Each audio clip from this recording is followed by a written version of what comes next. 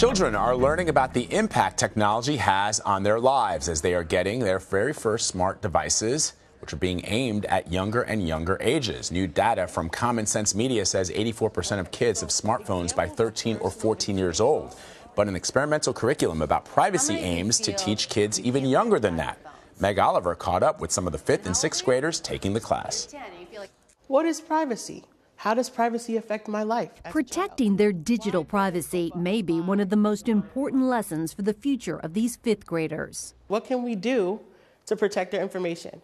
And there are two things good behavior and responsible choices. Beyond the fun of Snapchat streaks and Minecraft marathons, these students are benefiting from a curriculum rarely taught. You wouldn't want people looking at all your stuff. Another user figured out my password. He just told me that he got hacked. Somebody can steal your identity and steal everything you have. At St. Michael's School in Union, New Jersey, the students are social media savvy and already engrossed in a digital world. How many of you feel you can't live without your phones? And how old are you? I'm 10. You're 10 and you feel like you can't live without your phone. I think family life was changing, relationships were changing, and parents were getting worried. Seton Hall law professor Gaia Bernstein designed the class for this pivotal moment in modern life. A study shows 50% of teens feel they are addicted to their mobile devices. Why are you targeting kids this age? Some of those kids we just saw, they don't even have a phone yet. It's much harder to influence people who are already made choices, who are completely embroiled in social networks. We thought there's this moment when you get your first cell phone where the kids are more likely to listen more likely to listen, start talking, and hopefully begin to understand how their actions online can impact their daily lives. That's really embarrassing, right? And some of that information never goes away. So you should always keep in mind the consequences of sharing the information. And this slime is a butter slime. 11 year old Ava Zazali graduated from the class earlier this year. She got her first phone a few months ago and already has three Instagram accounts, one solely for slime. I'm actually not on it as much as people are because I'm always like going on phone and I see like 20 text messages. I'm like, where did that come from? Ava's parents trust her to use judgment when it comes to her phone, but her mom stresses one important lesson. Remember, every photo, every text is indelible. And when you send that out in 10 seconds, or less, it's in cyberspace for everyone to read, to see. It can go all over the world. The digital privacy class at her school hammered that point home. The most important thing I learned was probably like to be aware that some of the stuff you post affects other people. So now maybe you take a moment before you post something and you think, hmm, is this safe? Yeah. So I always make sure with my friends if it's okay if I post something with them, or they always ask me. I learned that a lot of the stuff I thought I was doing that was safe was really not.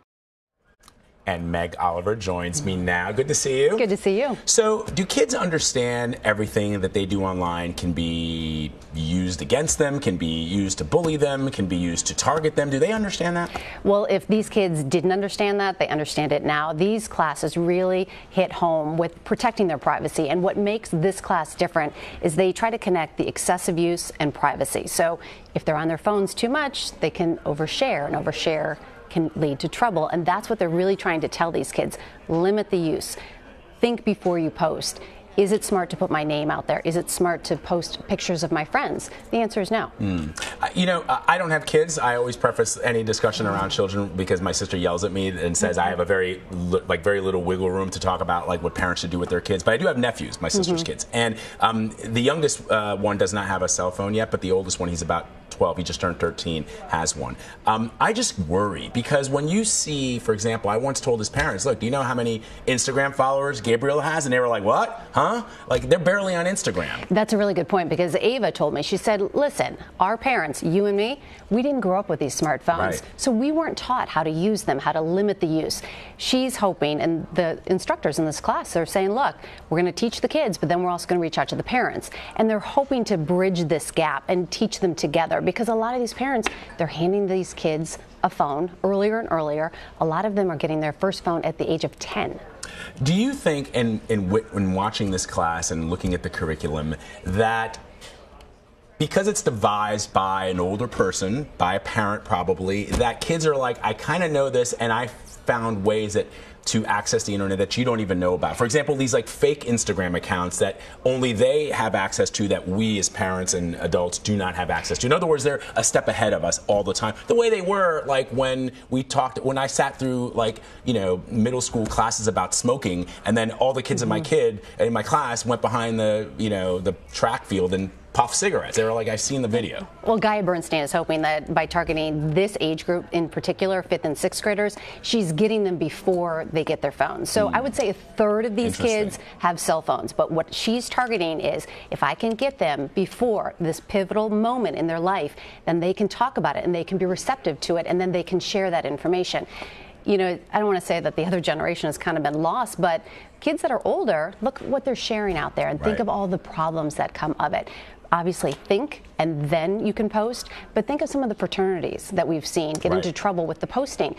I'm betting they never had classes like this. I, I also think there's a there's a it, it's very difficult because they're going up against a culture, for example, that is built around celebrity. Our culture, American mm-hmm. culture, that's built around celebrity. And when you look at the posts from you know movie stars, Kim Kardashian, and the way that they post pictures of themselves is, for example, young girls. I worry that young girls will try to emulate what some of these celebrities are doing, and that's how they use social media, and they're not even thinking about the, the dangers, the real dangers that exist. Right, and that's part of it. They're teaching them who's following you on Instagram? Right. You know, who are you letting follow you?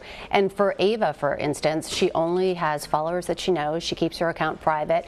Um, you know, we talked about it. I said, you know, should I post um, something about this. And, you know, I thought, right. hmm, I don't know, that it brings up an interesting debate. Um, all of the kids in the fifth grade class were extremely savvy when it comes to social media, but they were also very receptive. And I think that plays back to the point that they're young enough that they can soak this in, learn it, and maybe share it. Are there other schools that are rolling this out?